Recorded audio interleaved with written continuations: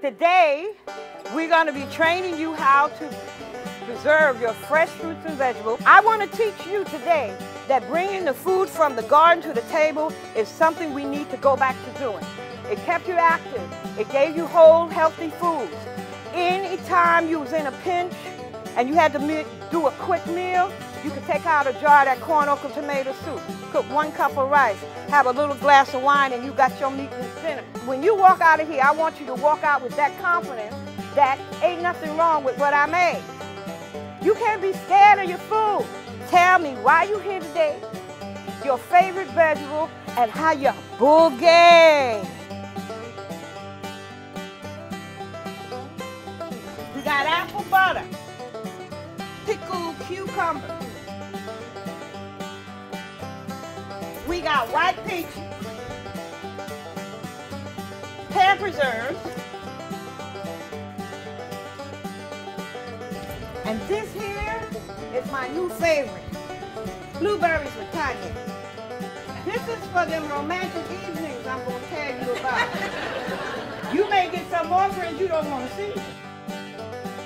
Here's my book. Oh, I love the boogie. So this is not only for survival, it's also to help other people. It's also to bring your families together, to start talking to each other at a kitchen table. Back in my mother's day, they used to have canning parties. The women would be in the kitchen talking trash, and the men be out in the barn talking trash. From those trash stories, they would learn everything about life. And that's where it starts. You're starting to communicate with each other. You're showing you're putting the love in the food. We have a, a, a, mason jar that I just took out of the boiling hot water. This is our pickling solution. Now we're gonna make some dilly beans. You know the things that go good with Bloody Marys. And I guarantee you, if you start to do this, they're gonna have people stealing your jars because it worked. And this here is only for medicinal purposes, not social. Medicinal purposes, the Bloody Marys. Okay. So I like a little garlic in mine. Garlic, I love garlic. Garlic uh, brings down the pressure, makes the food taste good. I love that. And now I'm gonna start to put in my dilly beans. Don't be stingy. Push it down, heaped up, running over, press down, and put some more.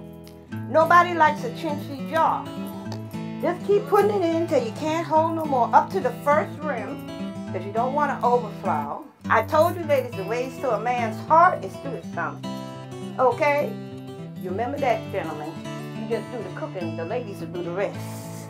Oh, so I put some fresh dill in there because I like the taste of dill. I also have some pickling spice. Do you, do you want a little of that or do you want hot pepper flakes? You, oh, right now, now you're talking. I like a little spicy. Yes. You put on a little slow jam, you know, Michael Jackson. Man in the mirror. oh, he said he liked it hot. Ladies, remember that. He likes it hot. Oh, you see the response you get, ladies. I tell you what I use is working. This is a pickling solution I made. It is one cup of vinegar, two teaspoons of kosher salt, and three cups of water. Our one, two, three. This is our rubber seal. I want you to see this because every time you put something in this jar, you got to use a new one. This is what protects your food and stores your food. If this is scratched, don't use it. You put that on like that. This is your top.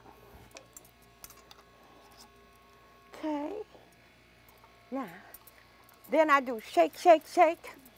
Shake, shake, shake. Shake your booty. Guys, the women love that. now that's your first jar.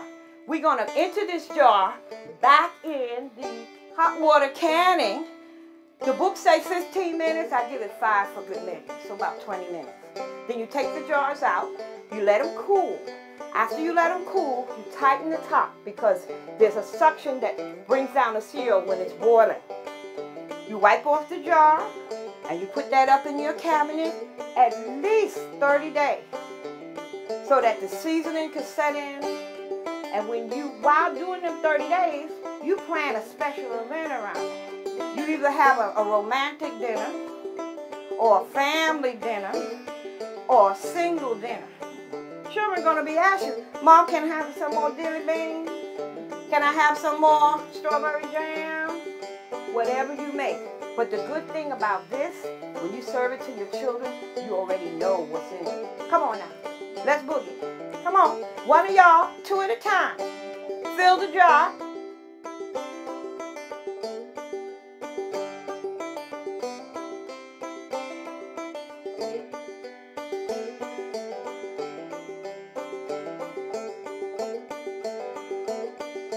I'm, I'm hungry.